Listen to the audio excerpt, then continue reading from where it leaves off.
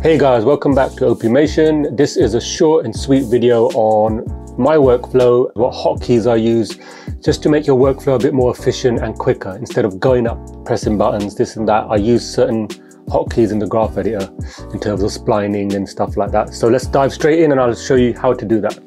So if we look at the screen here, we I've just animated this uh, uh, ball up and down. Now what we want to do, sometimes if we go into a graph editor, and we'd be like, all right, this is translation. I want to, if you look at this handle, it's, it's not broken, nothing, it's just standard, yeah, how it comes in. Now, sometimes I can select all of this and go to constant. So say if you're doing blocked, so there you can see it's blocked. And you want to change that to uh, spline. Instead of always going up here and doing it, or then you could always want to change to linear instead of always going up here, up here. I have a shortcut key which is Alt and F. So if I select this, I press Alt and F, you see it flattens. If I press, if I press all of it, sorry, Alt and F, see everything's flattened. And if I go to Alt and S, that's spline. Now, how do we set these up? Okay, I'll show you. So these are really good because, because my finger is around the undo button, I normally try to keep all my shortcuts around the translate scale rotate area because I'm always using that.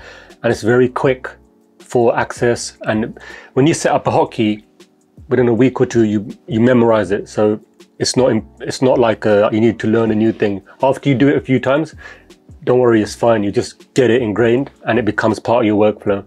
And it just makes everything so quick and easy. So what you do is if I come here and say if I open up the script editor here. So this opens up. So what I'll do now, I'll go to history and well, clear all, sorry. I'll go to edit, clear all. So we've got a blank slate. Now what I'll do is, if I select this here and I go to spline, a command will come up here. So it says tangent spline off, off. So what you want to do, you want to copy this. So if you press Control C, copy or right click, yeah, sorry, Control C, copy, and then what you do, you go into your Windows, settings, hotkey preferences. Now in here, I've got my default du duplicate. Now what you do is, and then I go to custom scripts, right? This is my custom scripts. So in here are all the scripts that I've got. So lock on, weighted tangent, spline, flat, which we'll be showing now. As you can see, OS, OF and then show poly. These are scripts which I can share with you as well. But this one, for example, so if you want to create a new one, all you do is you go to run command. So that command you copied from here, which is uh, all at the top now, this one. Remember we copied that? All you do if you want to create a new one is you come in here and you go to new and you literally just paste it in. That's all you're doing. And then here you can type in spline tangent, right? And then you, I just normally copy this in here as well.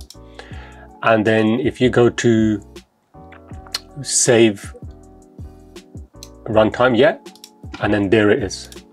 Now all you do here is you allocate a button. So then I can go Alt, for the example's sake, I'll do Alt B, and then you go to save, and it saved it. Now if I close this, if I save and close, and I come here, let's, let's put all of this to constant. Okay, and now if I select all of them and go to Control B, splines it all. So you can do the same thing with if you come here, go to flat. So if I open up the script editor and then I clear everything, I normally clear everything because then I know exactly what command it is. So if I go to flat, actually I'll show you better. If I do this, if I clear this, if I select that, obviously it's going to say that's what it basically translates every everything you do in Maya comes up on this script editor here. So it just records a history. But if I select that keyframe and I go to flat, there, that's the command we want. So that's all you do, just copy that and do the same thing that I did. You go into the hotkey editor, go to hotkeys, and then you choose your list. You can save your list here and then just go to runtime command, new, and literally just paste it in. Type in your name. So this will be flat, flat tang, we can call it that. and just save and it comes up here, you see? And then we can go to Alt or wherever you want. It could be Control, whatever, Alt H, yeah?